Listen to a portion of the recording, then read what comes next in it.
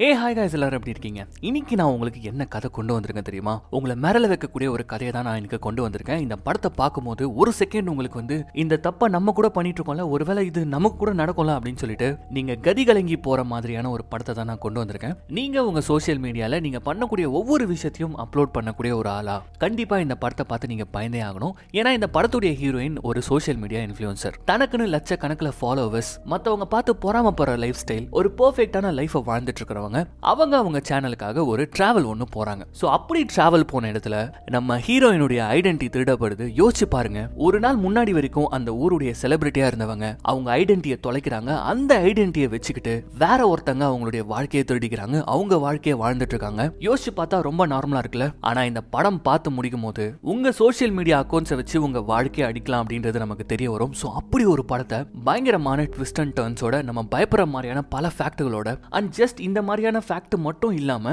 உண்மையிலே படத்தை நொடிக்கு நொடி பரபரப்பா செம்ம த்ரில்லிங்கா நம்மள மிரள வச்ச ஒரு கதை தான் ரீசெண்டா ரிலீஸ் ஆன the influencer and welcome to Tamil voice over channel நான் உங்கள் யாரோ? அஜுன் யாரோ. இது வரைக்கும் இந்த சேனலை சப்ஸ்கிரைப் பண்ணாதவங்க சப்ஸ்கிரைப் பண்ணிக்கோங்க. மறக்காம பெல் ஐக்கானை பிரஸ் பண்ணிக்கோங்க. ஃபாலோ பண்ணாதவங்க ஃபாலோ பண்ணிக்கோங்க. இப்போ இந்த கதைக்குள்ள போயிடலாம். அண்ட் இந்த படம் பார்த்து முடிச்சதுக்கு அப்புறமா உங்களுடைய ஃபேவரட்டான செலிபிரிட்டி இருப்பாங்களா சோஷியல் மீடியா செலிபிரிட்டி யாருக்கு இந்த கதையில நடக்கிற மாதிரி நடந்துச்சுன்னா பயங்கரமா இருக்கும் அப்படின்றத வந்து கமெண்ட்ல சொல்லுங்க. ஸோ இப்போ இந்த கதைக்குள்ள போயிடலாம். இந்த படத்துடைய கதையானது ஆரம்பிக்கும் போதே ஒரு ஆள் ஆதரவில்லாத தீவில் தன்னந்தனியாக கைவிடப்பட்ட நிலைமையில இப்படி ஒரு பெண்ணுடைய உடல் கரையோரமா ஒதுங்கி கிடக்கிறத காமிச்சிக்கிட்டு இந்த படமானது ஆரம்பிக்க அப்படியே கட் பண்ணி ஒரு சில நாட்களுக்கு முன்புன்னு சொல்லிட்டு இந்த படத்துடைய ஹீரோனான மேடிசனை தான் காட்டுறாங்க. மேடிசனை பத்தி சொல்லணும்னா இவங்க ஒரு சோஷியல் மீடியா இன்ஃபுளுசர் இவங்க ஒரு மாடல் டிராவல் விளாகர் தனக்குன்னு சொல்லிட்டு பல லட்சம் ஃபாலோவர்ஸ்களை வச்சிட்டு இருக்கக்கூடிய ஒரு சோஷியல் மீடியா செலிபிரிட்டி நிறையவே டிராவல் பண்ணக்கூடியவங்க. ஸோ அப்படிதான் இந்த தடவை தாய்லாந்துக்கு வந்திருக்காங்க. ஸோ இவங்களுடைய வேலையே என்ன? இவங்க நடந்து போறது சாப்பிடுறது இவங்க போட்டிருக்க ட்ரெஸ் அவங்க மனசுல நினைக்கிறதுன்னு சொல்லிட்டு எல்லா விஷயங்களையுமே வந்து தன்னுடைய ஃபாலோவர்ஸ்க்காக சோஷியல் மீடியால போஸ்டா போடக்கூடியவங்க. ஸோ இப்படியாக நம்ம ஹீரோயின் தாய்லாந்துக்கு வந்து இறங்குறாங்க. ஒரு லக்ஸுரியான வில்லா இவ்வளோ பெரிய வில்லாவை தனியாளா இவங்க வந்து பாத்தீங்கன்னா ரெண்ட் எடுத்திருக்காங்க. ஸோ உள்ள வந்துட்டு அந்த இடத்தெல்லாம் சுத்தி காமிச்சிட்டு வழக்கம் போல போஸ்ட் எல்லாம் போட்டு முடிச்சதுக்கு அப்புறமா அவங்களுடைய பாய் ஃப்ரெண்டுக்கு தான் கால் பண்றாங்க வீடியோ கால் பண்றாங்க. அந்த பாய் ஃப்ரெண்ட் பேர் ரியான். ஆக்சுவலி ரியான் கூட தான் வந்து இவங்க இந்த ட்ரிப்க்கு வர மாதிரியே இருந்தது. ஆனா லாஸ்ட் மினிட்ல ரியான் வந்து வர முடியாதுன்னு சொல்லிட்டான். ஸோ அதனால வந்து பாத்தீங்கன்னா இவங்க ரொம்பவே அப்செட் ஆகிட்டாங்க அது மட்டும் இல்லாம இவங்களுக்கும் ரியானுக்கும் குள்ள வந்து ரீசன்ட் டைம்ல நிறைய மிஸ் அண்டர்ஸ்டாண்டிங் ஃபைட்டுன்னு போயிட்டு இருக்கிறதுனால இப்போ அவன் வரலன்னு சொன்ன உடனே இன்னுமே கடுப்பாயிட்டு அந்த ஃபோன் காலை கட் பண்ணிட்டு அப்படியே சமக்கோமா வந்து அவங்க வேலையை பார்க்கறதுக்காக கிளம்பும் போது அப்போ அதே ஹோட்டல்ல நீச்சல் குளத்துல ஒரு பொண்ணை காட்டுறாங்க. அவன் முகத்துல வந்து பாத்தீங்கன்னா ஒரு பக்கம் தழும்பெல்லாம் இருக்கு. அப்படியே கிராஸ் பண்ணி போகும்போது அந்த பொண்ணை பார்த்துட்டு இப்போ நேரம் வந்துட்டு என்ன பண்றாங்கன்னு பாத்தீங்கன்னா பீச்ல நின்றுக்கிட்டு பயங்கரமா போஸ்ட் எல்லாம் போடுறாங்க. சூப்பரா வீடியோலாம் எடுக்கிறாங்க. கேமரா முன்னாடி ரொம்ப சந்தோஷமா அந்த இடத்த பத்தி எக்ஸ்பிளைன் பண்றாங்க. முகத்துல அப்படி ஒரு சிரிப்பு இருக்கு.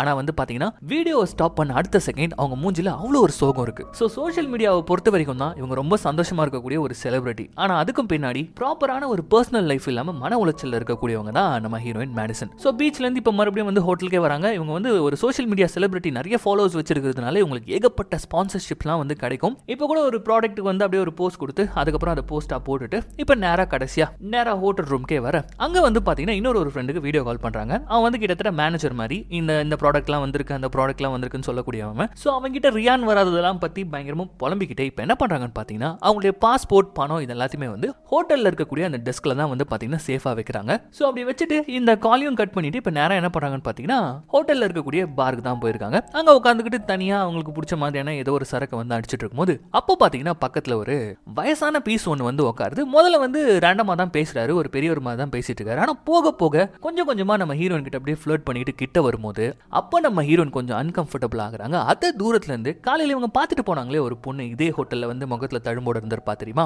அவ வந்து புரிஞ்சுக்கிட்டு இப்போ அவனும் வந்து அந்த இடத்துக்கு உட்காரா நம்ம ஹீரோன் கூட பேசிக்கிட்டே வாங்களேன் வெளில போய் பேசலாம் அப்படின்ற மாதிரி சொல்லிக்கிட்டு இப்போ நம்ம ஹீரோனை வெளில கூட்டு வரா. அப்படி கூட்டு வந்ததுக்கு அப்புறமா ரெண்டு பேரும் அப்படியே பேசிக்க ஆரம்பிக்கிறாங்க. அவர்களுடைய பேர் வந்து சி டபிள்யூ அப்படின்ற மாதிரி சொல்றா. கேட்கறதுக்கே வந்து டிஃப்ரெண்டா இருக்கு இல்லையா? ஸோ அவருடைய பேரை சொல்லி அப்படி பேசவும் ஆரம்பிக்கிறா. அப்படி பேசும்போது தான் நம்ம ஹீரோன் கேட்குறாங்க அந்த பெரியவர் ஒன்றும் ஏதோ தப்பா நடந்துக்கலையா? அப்படின்னு சொல்லிட்டு கேட்கும்போது அப்போ சிடபிள்யூ என்ன சொல்றானா இப்போதானே சரக்கு உள்ள போயிருக்கு. அவன் போதை ஆனதுக்கு அப்புறமா தான் உன்னோட சுயரூபத்தை நீ பார்த்திருப்ப. அதுக்கு முன்னாடி நான் வந்து உன்னை காப்பாத்திட்டேன். ஆக்சுவலி நீ தேங்க்ஸ் சொல்லணும். முதல் விஷயம் இந்த தாய்லாந்துல நீ யாரையும் நம்பவே கூடாது. புரியுதா? அப்படின்ற மாதிரிலாம் இப்போ அட்வைஸ் கொடுக்க ஆரம்பிச்சோனோ சரி அதெல்லாம் ஓகே நானும் காலிலேருந்து பார்த்துட்டு இருக்கேன். நீ தனியாகவே சுற்றிட்டு இருக்க அப்படின்னு சொல்லிட்டு இப்போ சிடபிள்யூ வந்து நம்ம ஹீரோனை பார்த்து கேட்க. அப்போ நம்ம ஹீரோன் ரொம்பவே சோகமா? ஆக்சுவலி நானும் என் பாய் ஃப்ரெண்ட் ரியானோ தான் எங்கள் வரத்துக்கு பிளானே போட்டோம். ஆனால் லாஸ்ட் மினிட்ல அவனால் வர முடியல. ஸோ அதனால தான் தனியாக சுற்றிட்டு இருக்கேன் அப்படின்ற மாதிரி இப்போ அவங்கள பற்றின விஷயங்களும் இப்போ நம்ம ஹீரோன் சொல்ல. அப்படின்னா பெருசா பிளான் எதுவும் இருக்காதுல்ல உனக்கு. நாளைக்கு ஃப்ரீயா நீ? அப்படின்னு சொல்லிட்டு இப்போ சிடபிள்யூ கேட்க ஆ நான் ஃப்ரீ தான் சொல்லும்போது அப்போ விடு. நான் உனக்கு சுற்றி காட்டுறேன் இந்த இடத்த அப்படின்ற மாதிரி இப்போ சிடபிள்யூ சொல்ல. இப்போ அப்படியே கட் பண்ண அடுத்த நாள் காலையில. இந்த சிடபிள்யூ பொண்ணு அவளுடைய பைக்ல வந்து நம்ம மேடிசன் ஏத்துக்கிட்டு இந்த இடத்துல பல இடங்கள் வந்து அவளுக்கு கத்துப்படி போலகுது சூப்பரான நேச்சர் சீன்ஸ் எல்லாம் இருக்கக்கூடிய பல இடங்களுக்கு கூட்டு போறா. நம்ம ஹீரோயின் வந்து பிரமிச்சு போயிடுறாங்க. ஏன்னா அவங்க வந்து ஒரு இன்ஃபுளுசர்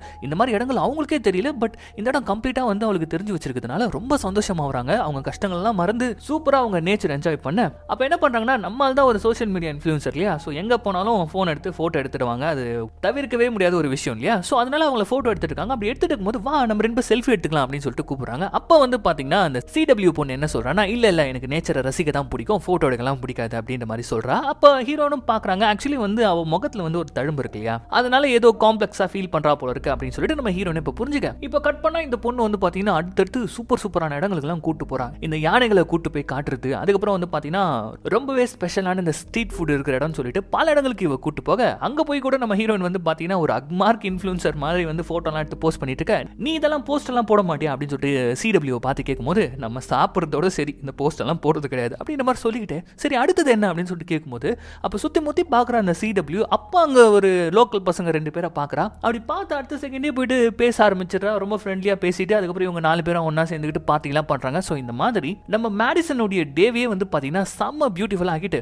அன்னைக்கு ராத்திரி ரெண்டு பேரும் அப்படியே ஹோட்டலுக்கு வந்து சேர்றாங்க.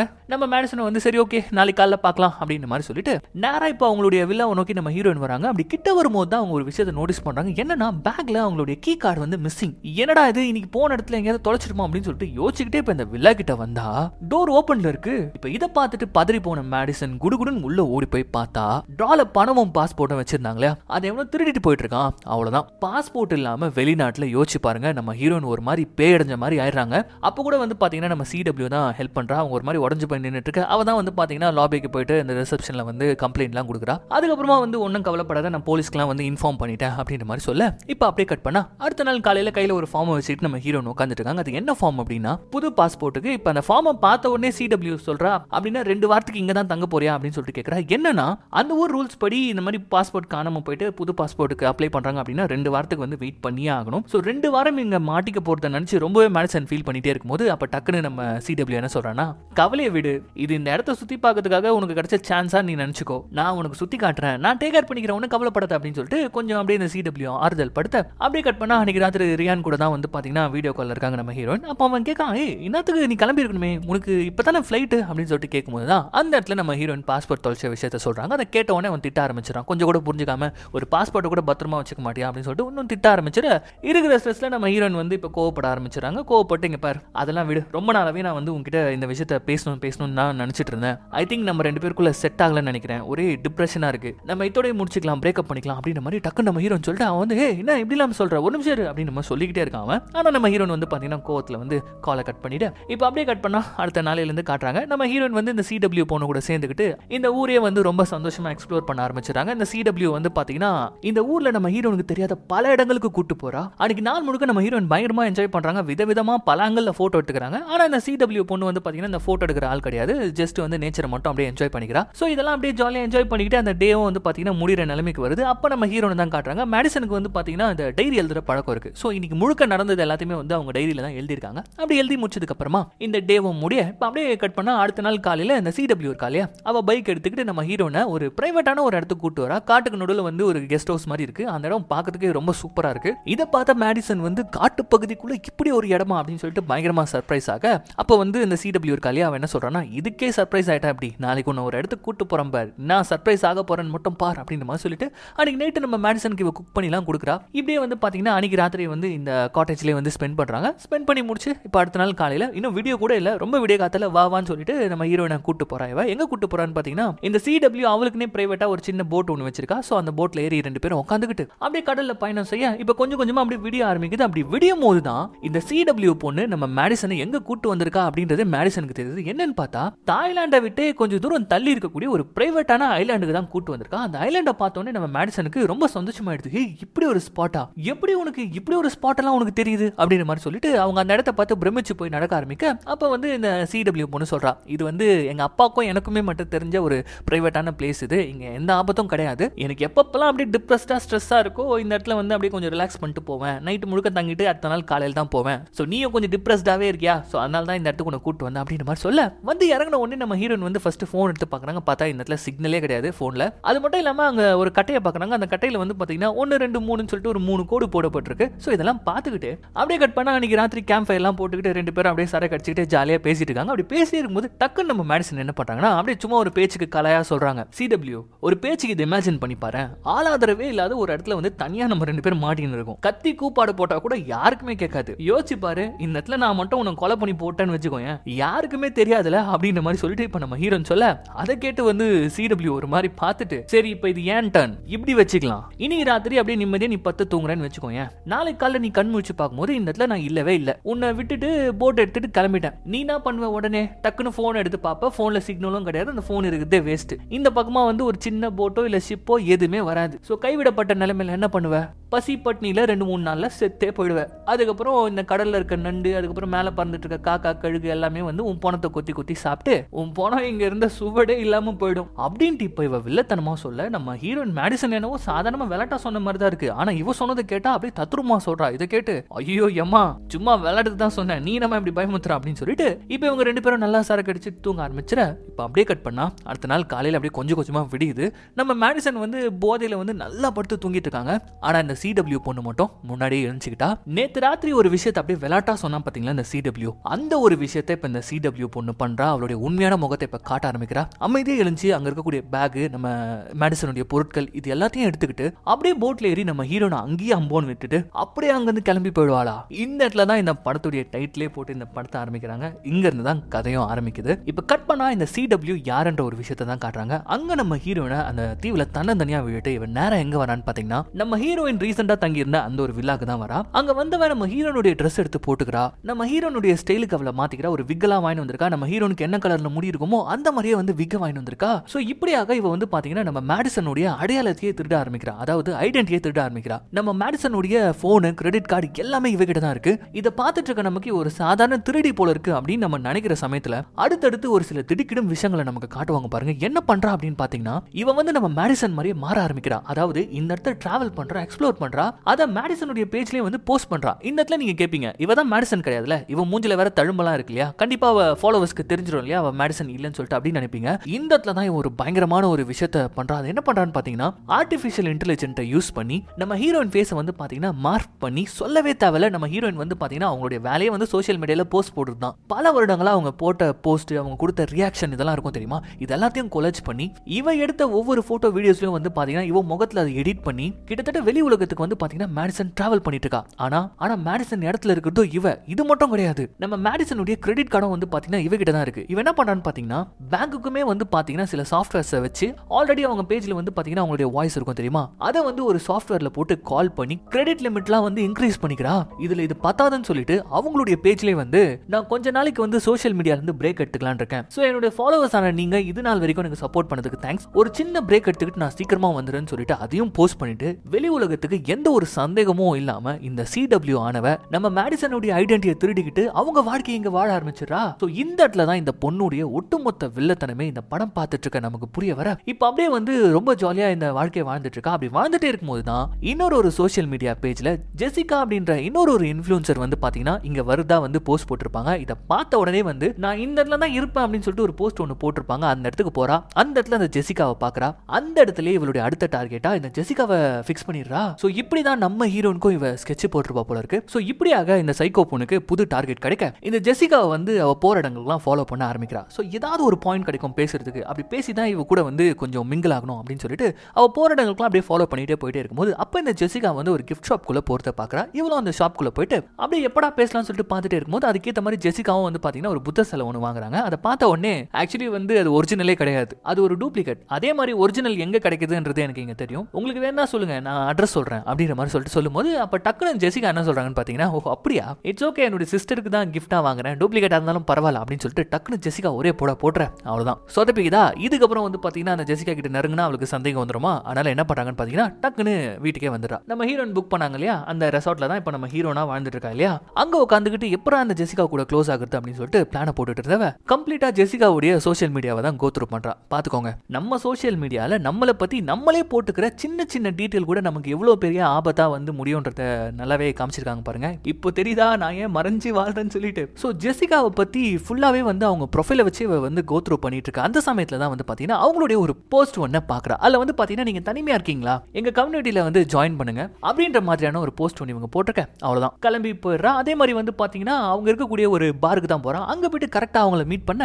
ஜெசிகாக்கு ஞாபகம் இருக்கு. என்னம்மா காலையில அந்த ஷாப்ல பார்த்தேன் இப்போ பார்த்தா பார்ல இருக்க? ஒன்றுமே புரியலையே. என்ன கோயின்சிடென்ட்டா அப்படின்னு சொல்லிட்டு கேட்கும்போது அப்போ டக்குன்னு இவன் என்ன பண்றான்னு பாத்தீங்கன்னா ஜெசிகா நான் உங்களுடைய ஃபாலோவர் தெரியுமா? காலையில உங்களை பார்க்கும் போதே நினைச்சேன் லைட்டா டவுட் இருந்தது. ஆனா நீங்க தானான்றத கன்ஃபார்ம் பண்ணிக்கல. பட் வீட்டுக்கு போனதுக்கு அப்புறமா தான் நீங்க தெரிஞ்சது. உங்களை இன்னொரு தடவை பார்க்க மாட்டேனான்னு நினைச்சேன். இப்படி பார்த்துட்டு ரொம்ப சந்தோஷமா இருக்கு தெரியுமா? அப்படின்ற மாதிரிலாம் சொல்லிட்டு பயங்கரமா ஒரு ஃபேன் மாதிரி பேச அவங்கள வந்து பாத்தீங்கன்னா நம்பிடுறாங்க. அவ்வளவுதான் ரெண்டு பேரும் உட்காந்து பேச ஆரம்பிக்கிறாங்க.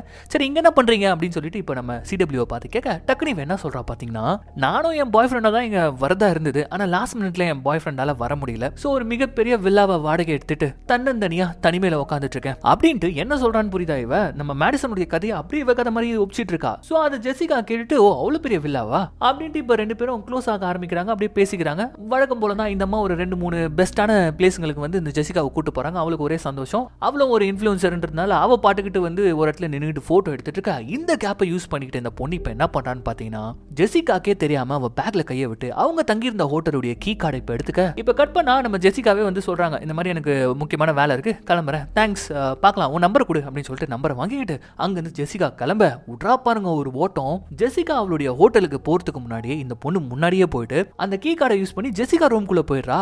ஸோ இந்த இடத்துல தான் நமக்கு ஒரு விஷயம் தெரிய வருது. நம்ம ஹீரோயின் கூட சுற்றும் போதும் இதே வேலையை தான் பார்த்துருக்கா. ஸோ நம்ம ஹீரோனுடைய பாஸ்போர்ட் பணம் எல்லாமே திருடுனது வேற யாருமே கிடையாது. இவ தான் போல ஆனால் ஏதோ ஒரு பிளான் பண்ணி திருடிட்டு இருக்கா. நம்ம ஹீரோயின் கூடவே இருந்துக்கிட்டு இப்போ அதே மேட்டர் தான் இங்கேயும் பண்ணுறா ஸோ அவங்களுடைய பாஸ்போர்ட் பணம் ஒன்றும் முக்கியமான விஷயங்கள் எல்லாத்தையும் திருடிட்டு எதுவுமே தெரியாத மாதிரி ரொம்ப தூரமாக தள்ளி அந்த ஹோட்டலை விட்டு தள்ளி வந்து நின்றுக்க இப்போ ஜெசிகாவை தான் காட்டுறாங்க. அவங்க வந்து பார்த்தீங்கன்னா அவங்க வேலையெல்லாம் முடிச்சுட்டு ஹோட்டல் ரூம்குள்ளே வர இப்போ அவங்களுடைய பொருளெல்லாம் காணாமல் போயிட்டு அம்போன்னு நிற்க இந்த சைக்கோவை தான் இப்போ காட்டுறாங்க. இவளுக்கு ரொம்ப நல்லாவே தெரிஞ்சிருக்கு. கண்டிப்பாக ஹெல்ப்னு வந்துட்டா அந்த ஜெசிகா வந்து இவளுக்கு தான் கால் பண்ணுவான்னு சொல்லிட்டு இப்போ அதே மாதிரி கால் வர சிரிக்கிறா பாருங்க வில்லத்தனமா. ஸோ அதே பிளான் தான் இப்போ என்ன பண்ணுறான்னு பார்த்தீங்கன்னா சரி இதுக்கு மேலே நீங்கள் எதுக்கு அங்கே தங்கிக்கிட்டு பிரசவம் வந்துருங்க. நான் ஒரு மிகப்பெரிய வில்லா எடுத்து வச்சிருக்கேன். அங்கே வந்துட்டீங்கன்னா நம்ம ரெண்டு பேரும் ஒன்றா இருக்கலாம் அப்படின்ற மாதிரி சொல்லிட்டு நம்ம ஹீரோயின் வந்து ரெண்ட் பண்ணி வச்சிருக்காங்க தெரியுமா? ஸோ அந்த இடத்துக்கே இந்த ஜெசிகா பொண்ணை வந்து இவ கூட்டிட்டு போ ஸோ பிளான் பண்ணிட்டு இருப்போம் மனசுலே உள்ள கூட்டு வரோம் மறுபடியும் அந்த இடத்துல போடுறோம். ஜெசிகா ஐடென்டிட்டியை திருடிக்கிட்டு அவளை வாழ ஆரம்பிக்கிறோம் அப்படின்னு சொல்லிட்டு பல கனவுகளோட இப்ப ஜெசிகாவை இந்த வில்லாக்கு கூட்டு வந்தா இந்த இடத்துல காத்துட்டு இருக்கோம் பாருங்க இவளுக்கு ஒரு ட்விஸ்ட் என்னன்னு பார்த்தா அந்த வில்லாக்குள்ள போறதுக்கு முன்னாடி வந்து பாத்தீங்கன்னா போற வழியெல்லாம் ரோஜா பூக்களா இருக்கு. யாரோ போட்டிருக்காங்க அப்படியே வழி பண்ணி வச்சிருக்காங்க. இப்ப அதை பார்த்துக்கிட்டே ஷாக் ஆகி இவ உள்ள வந்தா வந்திருக்கிறது யாருன்னு பாத்தீங்கன்னா நம்ம மேடிசனுடைய பாய் ஃப்ரெண்ட் ரயானு.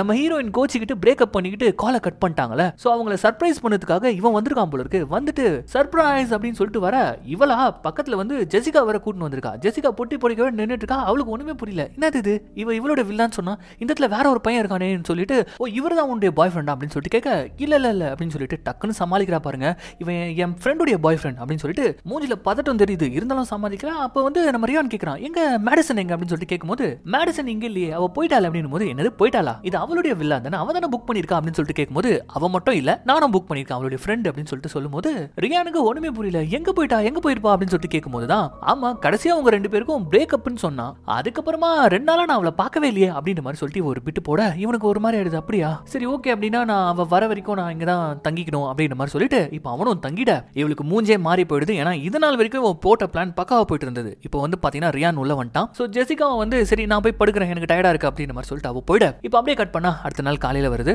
இந்த சிடபிள்யூ பொண்ணு வந்து அப்படியே உட்காரா கேட்கறா நீயே வந்து வந்து ஜாக்சனுக்கு கால் பண்ணக்கூடாது. கால் பண்ணி பேச அப்படின்ற மாதிரி சொல்றா. எவ்வளவு தைரியமா சொல்றா பாருங்க. அதுக்கு ரியான் என்ன சொல்றானா அவ பிரேக்கப் பண்ணதுல இருந்து நான் தொடர்ந்து கால் பண்ணிட்டே தான் இருக்கேன். ஃபர்ஸ்ட் காலே போல இப்ப கால் பண்ணாலும் எடுக்கவே மாட்டேன் அப்படின்ற மாதிரி சொல்லும்போது தொடர்ந்து ட்ரை பண்ணுங்க பாஸ் அப்படின்ற மாதிரி இப்போ இவ சொல்ல சரின்னு சொல்லிட்டு இப்போ நம்ம ரியானோ என்ன பண்றான்னு பாத்தீங்கன்னா கால் பண்றான். அப்படி கால் பண்ணும்போது மேடிசனுடைய போனே இவகிட்ட தானே இருக்கு. இப்போ இவ டேபிள் வந்து பாத்தீங்கன்னா இந்த ஏர்பாட்ஸ் எல்லாம் போட்டுக்கிட்டு லேப்டாப்போட உட்காந்துட்டு இருக்கா. ஆனா அங்க மேடிசன் போன் எடுக்கிறாங்க. இந்த ரியானோ வந்து பாத்தீங்கன்னா மேடிசன் கிட்ட தான் பேசிட்டு இருக்கான். ஒண்ணுமே புரியல நமக்கு. ரியான் வந்து இந்த பொண்ணு சிடபிள்யூ பார்த்துக்கிட்டே தான் பேசுறான் இந்த பொண்ணு பேசாம தான் உட்காந்துட்டு இருக்கா லேப்டாப்ல ஆனா அங்க மேடிசன் பேசிட்டு இருக்காங்க. என்னன்னு பார்த்தா இவ ஹைடெக்கான ஒரு வேலையை பார்த்துட்டு இருக்கா பாருங்க.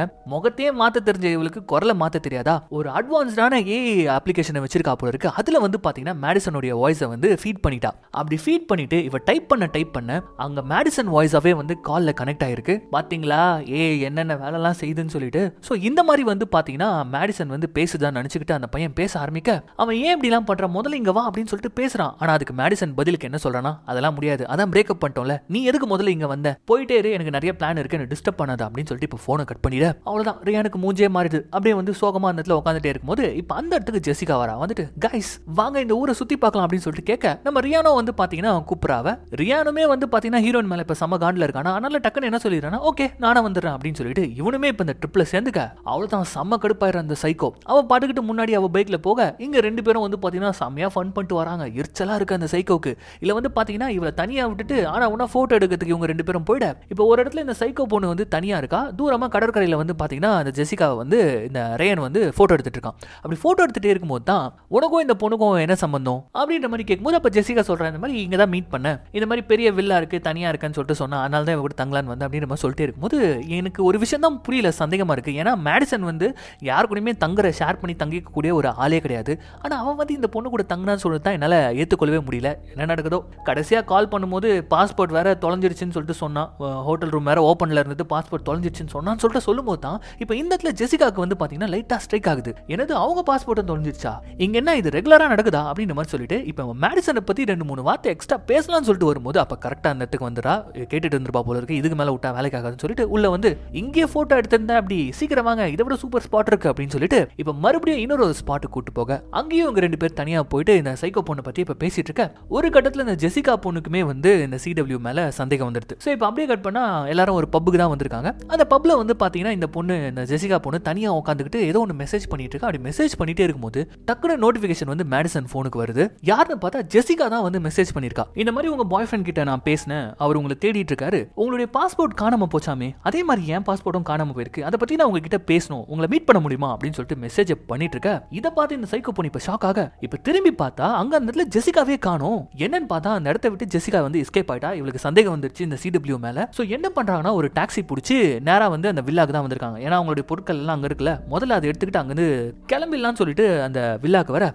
அந்த இடத்துக்கு கரெக்டா வந்துடா இவ கெஸ் பண்ணது கரெக்ட் தான். கண்டிப்பா வந்து இந்த வில்லாக்கு தான் போயிருப்பா. அங்க போனா இவளை பிடிச்சிடலாம்னு சொல்லிட்டு நேரா அந்த இடத்துக்கு வர. வந்து பார்த்தா அங்க கேப் நிக்குது. அந்த கேப் கார்கிட்ட ஆனால் அவங்க வரல நான் பிளான் மாறிச்சு இதாங்க பிடிங்க காசு கிளம்புங்க அப்படின்னு மாதிரி சொல்லிட்டு அந்த டாக்ஸியை கட் பண்ணி அனுப்பி விட்டுட்டு இப்போ மேலே வரா பாருங்க இவ. செம்ம வெறியா ஒரு சைக்கோத்தனத்துடைய உச்சத்தோட அப்படி வந்து இப்போ ஜெசிகா முன்னாடி நிப்பா பாருங்க. ஜெசிகாவுக்கு தூக்கி வாரி போடும். பொட்டி படிக்கலாம் எடுத்துக்கிட்டு இங்கே தப்பிக்கலான்னு பார்த்தா இப்படி இவ வந்து நிக்க. என்ன ஜெசிகா? நான் தான் என் கூட இருக்கலாம்னு சொல்லிட்டு சொன்னேன்ல. இப்படி அடுத்த ராத்திரில கிளம்புறீங்க? ஏன் இங்க இருக்க பிடிக்கலையா உங்களுக்கு? அப்படின்னு சொல்லிட்டு கேட்கும்போது அதை கேட்டு ஜெசிகா வந்து பாத்தீங்கன்னா பயத்துல வளவலா கொல கொலாம் சொல்லல. அதுக்கு பதிலாக நேரா மூஞ்ச பார்த்தே சொல்லிடுறாங்க. அதோ பாருமா நீ மேடிசன் அப்படின்ற ஒரு கேரக்டரை பத்தி என்கிட்ட பேசவே இல்ல. இப்போ அவங்க பாய் ஃப்ரெண்ட் சொல்ற விஷயங்கள்லாம் வச்சு பார்த்தா அவங்க பாஸ்போர்ட்டும் தொலைஞ்சிருக்கு என் பாஸ்போர்ட்டும் தொலைஞ்சிருக்கு. ஸ்ட்ரெயிட்டாவே சொல்லிடுறேன் எனக்கு உன் மேல சந்தேகமா இருக்கு. அதனால உனக்கு பணம் தான் வேணும் அப்படின்னா இதா இந்த பணத்தை வச்சுக்கோ என்ன விட்டுரு அப்படின்னு சொல்லிட்டு கொஞ்சம் பணத்தை எடுத்து நீட்ட. இப்போ இந்த பணத்தை பார்த்தோன்னே இவளுக்கு கோவம் வரும் பாருங்க. இந்த இடத்துல தான் இந்த சைக்கோவுடைய இன்னொரு ஒரு குணமானது வந்து வெளியில வருது. அது என்னன்னா இவ பணத்துக்கு ஆசைப்பட்டுலாம் இந்த விஷயத்த பண்ணல. இவளுடைய ஆசையே வேற. அதனால இந்த மாதிரி பணத்தை எடுத்து காமிச்சனும் கோவம் வந்து அப்படியே அவங்க தலையை பிடிச்சி செவுத்துல ஒரு இடி இடிகிறா பாருங்க அவ்வளவுதான். ஸ்பாட்லயே மண்டை உடஞ்சு ரத்த கொட்ட ஆரம்பிச்சு அப்படியே அவங்க கீழே விடுறாங்க பாருங்க. அப்போ ஒரு வில்லத்தனத்தோட இவ சொல்லுவா பணமா? என்ன பார்த்தா பணத்துக்காக இதெல்லாம் பண்ணிட்டு இருக்கக்கூடிய ஒரு கேவலமான கேரக்டர் மாதிரியா தெரியுது. உங்களை மாதிரி ஆட்களை பார்த்தாலே எனக்கு வெறியாகுது. இந்த அழகான மூஞ்ச வச்சு தானே இதெல்லாம் பண்றீங்க? இந்த மாதிரி ஒரு வாழ்க்கையை வாழ்ந்துருக்கீங்க அப்படின்னு சொல்லிட்டு அவ போட்டிருக்க ஹீல்ஸை வச்சு மூஞ்சில ஒரு இறக்க இருக்குவா பாருங்க. அவ்வளவுதான். அந்த இடத்துல இப்ப ஜெசிகாவை போட்டு தள்ளி ஒரு சூட்கேஸ்ல பார்சல் பண்ணிடுறா? கதையை முடிச்சு விட்டுட்டா? ஏமா யாருமா நீ நீ? எதுக்காக தான் இதெல்லாம் பண்ணிட்டு இருக்க? அப்படின்ற மாதிரி இப்ப நமக்கு தோண அவ ஜெசிகா பாடிய பார்சல் பண்ணிட்டு இருப்பா பாருங்க. அந்த நேரம் பார்த்து இந்த ரியான் பையன் வந்து நாலஞ்சு பேரை கூட்டு மாடியில இருந்து வருவானா? என்னன்னு பார்த்தா மடையன் இவ்வளவு நடந்துட்டு இருக்குதுங்க கீழே இவ்வளவு நேரமா மேல பாட்டி பண்ணிட்டு இருக்கான் இப்ப இவ எல்லாத்தையும் பேக் பண்ணி முடிச்சதுக்கு அப்புறமா தான் வரான் வந்துட்டு ஹே ஜெசிகா எங்க? வா வந்து பார்ட்டியில கலந்துக்கோ அப்படின்ற மாதிரி சொல்ல. இவளுக்கு வருதே கோவம். ஒழுங்கு மரியாதையா எல்லாரும் வீட்டை விட்டு அனுப்பு அப்படின்னு சொல்லிட்டு இவ கத்த ஆரம்பிக்கிறா. அதை கேட்டு அவனும் ஒரு பக்கம் கத்த ஆரம்பிக்க ஹலோ இது என் கேர்ள் ஃப்ரெண்டோட வில்லா தானே? நானும் என்ன வேணாலும் பண்ணலாம் அப்படின்னு சொல்லிட்டு சொல்லும் போது ஆமா ஆமா உன் கேர்ள் ஃப்ரெண்ட் தான் புக் பண்ணிருக்கா ஆனா அதுல சரி பாதி காசு கொடுத்து நானும் தான் ஷேர் பண்ணிருக்கேன் அதனால நான் இதெல்லாம் கேட்கலாம் அப்படின்ற மாதிரி சொல்லிட்டு மத்த ஃப்ரெண்ட்ஸ் எல்லாருமே இங்க இருந்து அனுப்பிவிட. இவனா மூஞ்ச உருன்னு வச்சுக்கிட்டு அப்படியே அவன் மேல போறான் பாருங்க. அப்படி மேல போகும்போது இந்த இடத்துல தான் இந்த சைக்கோ டிசைட் பண்றா. ஜெசிகாவை போட்டாச்சு. அங்க ஹீரோனை விட்டு வந்து ஒரு வாரம் ஆகுது. என்னத்துக்கு அவங்களும் காலி ஆயிட்டு இருப்பாங்க. இதுக்கு மேல இவனை வச்சு ரிஸ்க் எடுக்க முடியாது. அதனால இவனையும் இன்னைக்கு ராத்திரியே போட்டு தரலாம்னு சொல்லிட்டு இப்ப கையில ஒரு கத்தி எடுத்துக்கிட்டு மேல போவா பாருங்க. அவன் நடந்து போற தோரணையே திக்கு திக்குன்னு இருக்கும். அவ்வளவுதான்டா. ரியானே உன் கதை முடிஞ்சிச்சு அப்படின்னு சொல்லிட்டு நினைக்கும் போது இப்ப டடன்னு ஒரு நோட்டிபிகேஷன் வரும் பாருங்க மேட்சன் போன்ல என்னன்னு பார்த்தா இந்த ரியான் தான் வந்து பாத்தீங்கன்னா ரீசெண்டா ஒரு போஸ்ட் போட்டிருக்கான். அது வந்து பாத்தீங்கன்னா கேர்ள் ஃப்ரெண்டான மேடிசனுக்கு வந்து நோட்டிபிகேஷன் வந்திருக்கு. அதுல என்ன போஸ்ட் போட்டிருக்கான்னு பாத்தீங்கன்னா நம்ம மேடிசனுடைய ஒரு போட்டோவை தான் வந்து போஸ்டா போட்டிருக்கான் மிஸ்யூன்னு சொல்லிட்டு. இப்போ அவன் போஸ்ட் போடுறது விஷயம் கிடையாது. ஆனா ஆனா போட்டிருக்கான் பாத்தீங்களா ஒரு போட்டோ அதுல தான் விஷயமே இருக்கு. என்னன்னு பார்த்தா நம்ம மேடிசனை ஃபாலோ பண்ணிட்டு இருந்தப்போ அந்த போட்டோல வந்து பாத்தீங்கன்னா இந்த சைக்கோவும் இருக்கா? இப்போ மட்டும் இவனை போட்டு தள்ளனா கண்டிப்பா இன்வெஸ்டிகேஷன் வரும். அந்த இன்வெஸ்டிகேஷன்ல இந்த போட்டோ கடைசியாக அவன் அப்லோட் பண்ணியிருக்கான். இந்த போட்டோல இருக்கிற பொண்ணு நாம தான் கண்டுபிடிச்சிருவாங்க அப்படின்னு சொல்லிட்டு டக்குன்னு வந்து பாத்தீங்கன்னா காமா வரா பாருங்க. ஏன்னா மேடிசன் ஃபோன் தானே இவகிட்ட இருக்கு. அதை மட்டும் தான் ஆக்சஸ் பண்ண முடியும். அது அவனுடைய ஃபோனில் அதை எப்படி ஆக்சஸ் பண்ணுறது ஸோ பாயாசத்தை நாளைக்கு தள்ளி வைக்கிறா? இப்போ அப்படியே கட் பண்ணி அடுத்த நாள் காலையில் காட்டுறாங்க. உட்காந்துட்டு இருக்கா இவ. அப்போ வந்து பார்த்தீங்கன்னா நம்ம ரியான் தூங்கி எழுந்துச்சு வரான். வந்த உடனே வந்து பார்த்தீங்கன்னா இவ இவ சாரி கேட்குறா சாரி நேற்று ஏதோ கோவத்தில் இருந்தேன். அதனால தான் திட்டிட்டேன். நீ ஒன்றும் மனசில் வச்சுக்காத அப்படின்னு சொல்லும்போது பரவாயில்ல பரவாயில்ல அப்படின்னு சொல்லிட்டு ரியான் சொல்லிட்டே இருக்கும்போது அப்புறம் மேடிசன் ஏதாவது கால் பண்ணாலா புதுசாக போஸ்டெல்லாம் போட்டிருக்கா போல இருக்கு அப்படின்னு நம்ம சொல்லும்போது என்ன போஸ்ட் அப்படின்னு சொல்லிட்டு ரியான் இப்போ குழம்பு ஆரம்பிக்க. இப்பதான் கொஞ்ச நேரத்துக்கு முன்னாடி போட்டிருக்கா. பாரு அப்படின்ற மாதிரி சொல்ல இப்போ ரியானா வந்து உள்ள ஓப்பன் பண்ணி போய் பார்த்தா மேடிசன் அக்கௌண்ட்ல இருந்து ஒரு சில போட்டோங்கெல்லாம் போஸ்ட் ஆயிருக்கு பாருங்க. என்னன்னா புதுசா எனக்கு ஒரு காதல் கிடைச்சிருச்சு வாழ்க்கையை மாறிடுச்சு அப்படின்னு சொல்லிட்டு யாரோ ஒருத்தன் கூட க்ளோஸா நின்றுட்டு இருக்க மாதிரியான போட்டோஸ் இப்போ இதை பார்த்த உடனே இவனுக்கு கண்ணெல்லாம் கலங்குது பாருங்க. ரொம்பவே கஷ்டப்படுறான். சந்து கேப்ல இவ சிந்து பாடி இருக்கா பாருங்க. இவளே ரெடி பண்ணி அப்லோட் பண்ணிட்டா போல இருக்கு. இதை பார்த்துட்டு இப்போ நம்ம ஆளு ரொம்ப உடஞ்சு போயிட. இப்போ இதுதான் கரெக்டான நேரம்னு சொல்லிட்டு இவனை போட்டு செம்மையா குழப்பறா. உன்னெல்லாம் டிசர்வ் பண்றதுக்கு அவ ஆளே பாரு அவளை தேடிக்கிட்டு நீ இவ்வளவு தூரம் வந்திருக்க. அவ பாத்தீங்கன்னா வேற ஒருத்தன் கூட போயிட்டு இருக்கா. என்ன லவ்வோ அப்படின்னு சொல்லிட்டு இவனை பயங்கரமா குழப்ப. ஆனா ரியான் வந்து பாத்தீங்கன்னா உண்மையிலேயே ஸ்ட்ராங்கா இருக்கான். இல்ல இல்ல இது கண்டிப்பா வந்து சும்மா தான் போட்டிருப்பா என்ன வெறுப்பேற்றதுக்கு தான் போட்டிருப்பா அப்படின்ட்டு இவன் எவ்வளவோ காமாகறான் ஆனா வந்து பாத்தீங்கன்னா சரி என் கூட வெளியில வா கொஞ்சம் சுத்தனா உன் மனசு சரியாயிடும்னு சொல்லிட்டு வெளியில கூட்டு போயிட்டு போற இடங்கள்லாம் வந்து அந்த பொண்ணை பத்தி தப்பு தப்பா பேசி ஒரு கட்டத்துல இவனை பயங்கரமா வெக்ஸ் ஆகி பாருக்கு கூட்டு போயிட்டு சரக்கு ஊத்தி குத்துறா அதுவும் சாதாரண சரக்கு கிடையாது பயங்கரமான ஒரு போதைப் பொருள் கலந்த சரக்கு வாங்கி கொடுத்து இப்ப இவளுடைய ஆட்டத்தை இவ ஆரம்பிக்கிறா பாருங்க. அப்படியே கை தாங்களா வீட்டுக்கு கூட்டு வந்துடுறா. அவன் வந்து இன்னும் மயங்கல. ஒரு மாதிரி அற போதையில இருக்கான் கண்ணெல்லாம் திறந்துகிட்டு. அப்படி அவனை வந்து பாத்தீங்கன்னா இப்ப பெட்ரூம்க்கு கூட்டு வந்து ஒரு செட்டப் ஒன்று போடுறா பாருங்க. அவன் ட்ரெஸ்ஸை கழட்டி இவ ட்ரெஸ்ஸை கழட்டி ஏதோ இவங்க ரெண்டு பேருக்குள்ள வந்து தப்பா ஏதோ ஒன்று நடந்த மாதிரி பயங்கரமான செட்டப்லாம் பண்ணிட்டு இப்போ அவன் அற போதையில இருக்க அவன் ஃபோன் எடுத்து ஃபேஸ் ஐடியை வச்சு அந்த ஃபோனை ஓப்பன் பண்ணி அந்த போஸ்டையே டெலீட் பண்ணி விட்டுறா இன்னும் பிளான் பாருங்க இப்போ இவ்வளோ வேலையை பார்த்துட்டு அப்படியே உனக்கு கட்டி பிடிச்சிக்கிட்டு படுத்துற. இப்போ அப்படியே அடுத்த நாள் காலையில் காட்டுறாங்க இவன் எழுந்து பார்த்துட்டு தலையில் அடிச்சுக்காத ஒரு குறை பயங்கரமாக கில்ட்டியாக ஃபீல் பண்ணுறான் நேற்று நைட்டு நம்ம சரக்கு அடிச்சிருக்கோம் அதுக்கப்புறம் இங்கே வந்து பல விஷயங்கள் நடந்திருக்கு அப்படின்னு சொல்லிட்டு ஒரு மாதிரி வெக்ஸ் ஆயிடுறான். ஸோ இப்போ இவ பிளான் படி எல்லாமே நீட்டாக நடந்துச்சு இதுக்கப்புறம் வந்து இவளுக்கு ஆபத்து கிடையாது. ஆனால் நம்ம ரியானுடைய மனசு மட்டும் வந்து பார்த்து பார்த்தீங்கன்னா காமாகிற மாதிரி இல்ல. அவன் என்ன கேக்குறானா நீங்க இதுக்கு முன்னாடி இருந்தீங்களே ஒரு வில்லா அதாவது பாஸ்போர்ட்லாம் காணாமல் போச்சு. அங்கிருந்து தானே இந்த வில்லாக்கு வந்தீங்க நீங்க ரெண்டு பேரும். அந்த பழைய வில்லா கிட்ட தான் இந்த ஃபோட்டோஸ்லாம் எடுத்திருக்காங்கன்னு நினைக்கிறேன். எனக்கு கொஞ்சம் கூட்டிட்டு போய் மட்டும் விடுறியா? அப்படின்னு சொல்லிட்டு கேட்குறான் இவ்வளவு வந்து பாத்தீங்கன்னா ஒரு இடத்துல ட்ராப் பண்ணிட்டு அங்கேருந்து சோகமா போகக்கூடிய ரியானை பார்த்துட்டு பயங்கரமா சிரிச்சிட்டு அதுக்கப்புறம் என்ன பண்றான்னு பாத்தீங்கன்னா ஹீரோனுடைய பாஸ்போர்ட்டு ஹீரோனுடைய டீட்டெயில்ஸ் ஹீரோனுடைய விக்கெல்லாம் வச்சிருந்தாலே இவ இது எல்லாத்தையும் போட்டு ஒரு இடத்துல கொளுத்திட்டு அங்கிருந்து இவளுடைய பிளான் ஒர்க் அவுட் ஆன சந்தோஷத்துல இவ ஜாலியாக கிளம்பிட்டு இங்கே இப்போ ரியானை தான் காட்டுறாங்க. அவனும் அந்த ஃபோட்டோவில் இருந்த இடங்கள் எல்லாம் போயிட்டு இந்த பொண்ணை பாத்தீங்களா இந்த பொண்ணை பாத்தீங்களான்னு பாவம் நம்ம ஹீரோனை தேடி தேடி அலைய எங்க கேட்டாலும் இப்போ இல்ல இல்லன்னு சொல்லிட இப்படியே கேட்டுக்கிட்டு கடைசியா எங்க வரான்னு பாத்தீங்கன்னா முதல் முதல் நம்ம ஹீரோயின் வந்து தங்கினாங்களே வில்லா. அந்த இடத்துக்கு தான் வந்து இவனும் தங்குறான். ஸோ தேடி தேடி களைச்சு போயிட்டான். அதனால வந்து பாத்தீங்கன்னா ரொம்ப ஸ்ட்ரெஸ்ஸா இருந்ததுனால அன்னைக்கு ராத்திரி வந்து பார்ல வந்து உட்காரான் இந்த ஹோட்டல் பார்ல இந்த பார் ஞாபகம் இருக்கா? இந்த பார்ல தான் முதல் முதல் நம்ம ஹீரோயின் உட்காந்து இருந்திருப்பாங்க அப்பதான் அந்த பொண்ணை மீட் பண்ணிருப்பாங்க ஸோ அந்த பார்லயும் உட்காந்துட்டே இருக்கும்போது அப்போ பக்கத்துல அதே வயசான நபர் வந்து உட்காரான் அதாவது நம்ம ஹீரோயின் கிட்ட ஃபிளோட் பண்ணிருப்பான்ல அவன் வந்து உட்காரான் சரி நம்ம எல்லாருக்கிட்டும் கேட்டுட்டோம் இவர்கிட்டையும் கேட்போம் அப்படின்னு சொல்லிட்டு சார் இந்த பொண்ணை பாத்தீங்களா சார்? அப்படின்னு சொல்லும்போது பார்த்த உடனே ஆமாப்பா ஒரு வாரத்துக்கு முன்னாடி பார்த்தனே இங்க தான் அப்படின்ற மாதிரி சொல்லும்போது ஆமா சார் ஆமா சார் ஒரு வாரத்துக்கு முன்னாடி அவங்க இங்க தான் சார் இருந்தாங்க. நேத்து இங்க தான் சார் போட்டோ எடுத்திருக்காங்க. நேத்து பாத்தீங்களா அப்படின்னு சொல்லிட்டு கேட்கும்போது என்னது நேத்தா? தம்பி நான் ஒரு வாரமா இங்க தான் டேரா போட்டிருக்கேன். ஒரு வாரத்துக்கு முன்னாடி இந்த பொண்ணை பார்த்தேன். இங்க இருந்ததுலயே அழகான பொண்ணு அவ தான். அதோட பார்க்கவே இல்லை. கடைசியா ஒரு பொண்ணு கூட பார்த்தேன். அவன் முகத்துல கூட வந்து பாத்தீங்கன்னா மச்சம் பெரிய மச்சம் கூட இருக்கும். அப்படின்ற மாதிரி இப்ப இவர் சொல்ல இவனுக்கு புரிஞ்சிடுது யார சொல்றான்? அப்படின்னு சொல்லிட்டு. அப்படியா சார் ஆனா இது நேத்து தான் சார் எடுத்த மாதிரி இருக்கு. நேத்து தான் போஸ்ட் பண்ணிருக்காங்க அப்படின்ற மாதிரி சொல்லும்போது டக்குனு ஒரு எங்க கொடு அப்படின்னு சொல்லிட்டு போனை வாங்கி பார்க்குறாரு அப்படி பார்த்துட்டு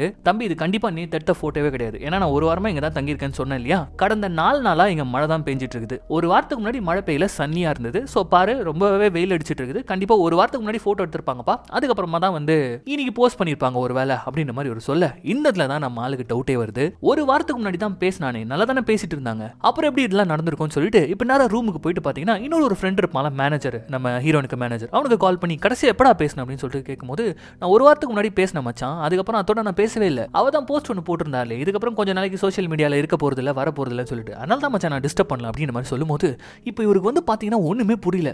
என்னடா இங்கே நடக்குதுன்னு சொல்லிட்டு பயங்கரமாக யோசிக்கிறாரு. இவரால் ஏற்றுக்கவே முடியல ஆனால் இங்கே ஏதோ ஒன்று நடந்திருக்கு. அது மட்டும் இவருக்கு புரியுது. அதனால அவங்க அக்கௌண்ட்டில் இருக்கக்கூடிய போஸ்ட் எல்லாத்தையும் ஒன் பை ஒன்னா ஒன் பை ஒன்னா பார்த்துட்டே இருக்காரு. இப்போ அதில் ஒரு வீடியோ இருக்கு. அந்த வீடியோவே திருப்பி திருப்பி திருப்பி ப்ளே பண்ணிகிட்டே இருக்காரு. அப்படி ப்ளே பண்ணிகிட்டே இருக்கும்போது திடீர்னு ஒரு கண்ணெல்லாம் சுருங்க ஆரம்பிக்குது. அந்த வீடியோவை ஸ்லோ மோஷனில் போறாரு. அப்படியே ஸ்லோ பண்ணி ஸ்லோ பண்ணி பல தடவை திரும்பி திரும்பி பார்த்துட்டே இருக்க.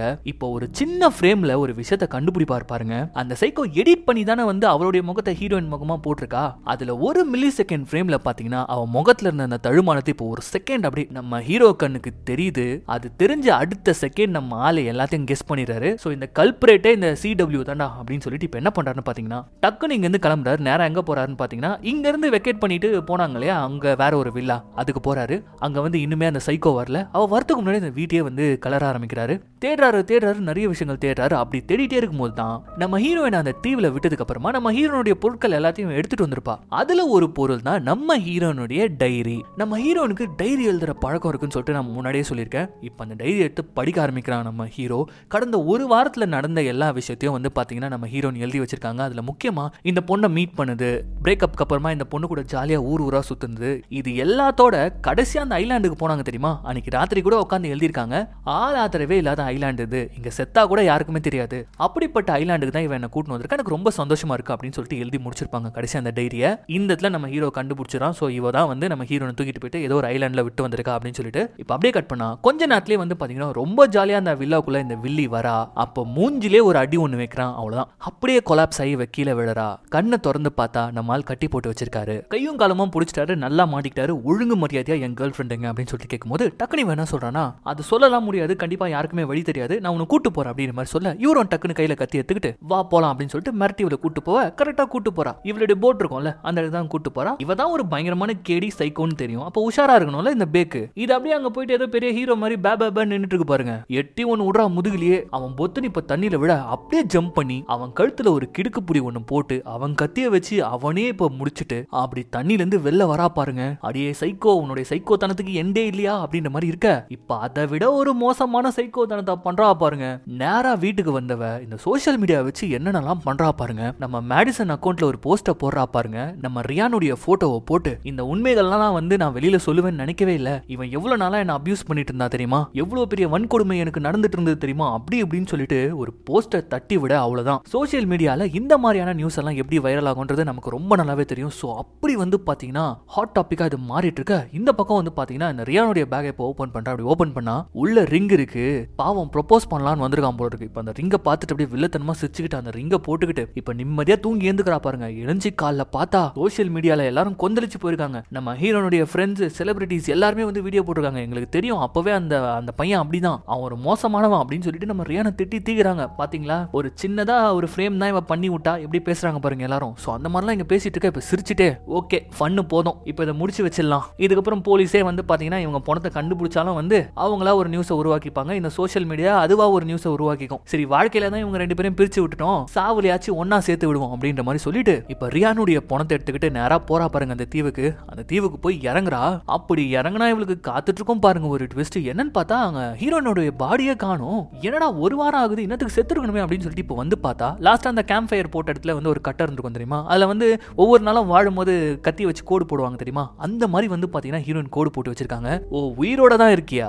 நீ ஒரு அட்வென்ச்சர் விரும்பில? சோ சர்வைவிங் ஸ்கில்ஸ் உங்ககிட்ட கண்டிப்பா இருக்கும். ஆனா ஒரு வாரத்துக்கு மேலேயே ஆகுது. ஒண்ணு கண்டிப்பா வீக் ஆகி உள்ள செத்து போய் கிடப்ப இல்லனா வீக்கா சுத்திட்டு இருப்ப. வந்து ஒரே போடா போடுறாரு என் கையில தான் உனக்கு சாகணும்னு இருக்கு அப்படின்ற மாதிரி சொல்லிட்டு இப்ப கையில இந்த மண்வெட்டி எடுத்துக்கிட்டு உள்ள வர. இவ்வளவு தேடுறா தேடுறா தேடுறா அந்த ஒட்டுமொத்த தீவையும் தேடி முடிக்கிறா. எங்க போனாலும் நம்ம ஹீரோனே இல்ல. என்னடா இவன் எங்கேயாவது தப்பிச்சு கிப்பிச்சு போயிட்டாலாம் அப்படின்னு சொல்லிட்டு இந்த தீவுலயே ஒரு ஸ்பாட்டுக்கு வர. அந்த ஸ்பாட்ல வந்து பாத்தீங்கன்னா ரெண்டு பேரை புதைச்சு வச்ச மாதிரி இருக்கு. சிலுவைகள் இருக்கு. ஆக்சுவலி இதுக்கு முன்னாடியே ரெண்டு பேரை கொன்னிங்க வந்து பொச்சிருக்கா போல இருக்கு இவ.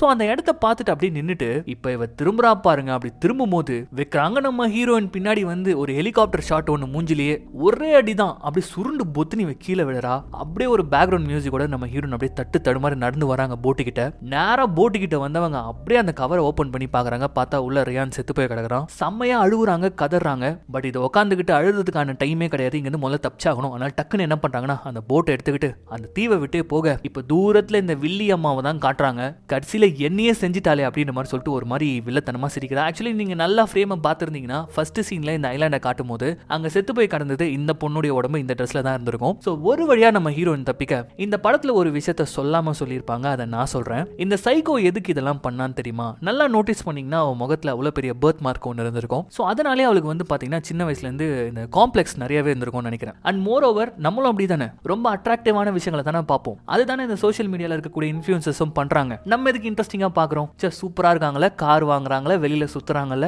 நல்ல ஒரு வாழ்க்கை வாழ்றாங்களே அப்படின்ற மாதிரி ஒரு ஆதங்கத்துல தான் நம்ம பார்ப்போம். ஸோ அந்த ஒரு விஷயம் தான் இந்த பொண்ணு ரொம்பவும் பாதிப்படைய வச்சிருக்கு. அவளால அப்படி ஒரு வாழ்க்கையை வாழ முடியல அவளால அமைச்சிக்க முடியாதனால அவங்கள பார்த்து ஒரு வெறி வந்திருக்கு. அதனால இந்த மாதிரியான சோஷியல் மீடியா இன்ஃபுளுசர்ஸோடைய வாழ்க்கையை வாழணும்னு நினைச்சிருக்கா. ஸோ அதனால தான் டார்கெட் பண்ணி டார்கெட் பண்ணி பணத்துக்காகவோ இல்ல வேற எதுக்காகவோ இவ இதை பண்ணல. ஜஸ்ட் அவங்க வாழ்க்கையை அவங்க இடத்துல இருந்து அவ வாழணும். அதுதான் ஆசைப்பட்டது. ஸோ அதை தான் இத்தனை வருஷங்கள் அவ பண்ணிட்டு இருந்திருக்கா. இப்போ மாட்டிக்கிட்டு செத்து போயிட்டா. ஸோ இதுதான் இந்த ஒட்டுமொத்த கதையோடைய கான்செப்ட் ஸோ இந்த படம் எப்படி இருந்தது? என்னுடைய செலெக்ஷன் எப்படி இருக்கு? உங்களுக்கு பிடிச்சிருக்கா இல்லையா? இது எல்லாத்தையும் கமெண்ட்ல சொல்லுங்க. So once again this is your Tamil voice of channel நான் உங்கள் யாரோ?